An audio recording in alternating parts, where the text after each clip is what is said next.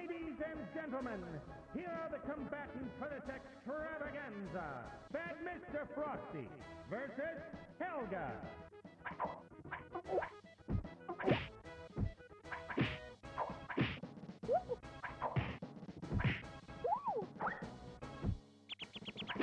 Helga wins the battle.